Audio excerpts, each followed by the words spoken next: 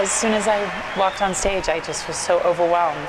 It's just an experience unlike anything else. It's the most wonderful time of the year. I'm thrilled. I mean, obviously, choir's work is world famous. This particular concert's been on my radar for a long time.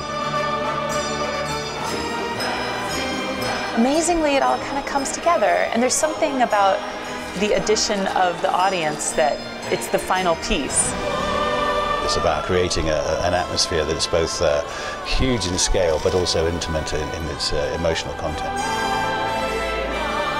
Sunshine on my shoulders. When we first started talking about repertoire, I said I want to sing Sunshine on My Shoulders, which I, I was like, I know it's not a Christmas song, but I really want to sing that and I would love to dedicate it to my mom.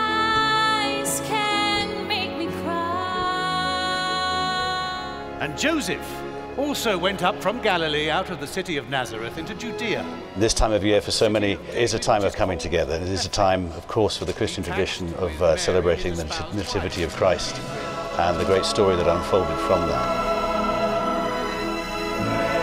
The love and the commitment that these people who are volunteering give to this is extraordinary. I've never seen it before, and to share it with so many people is quite something.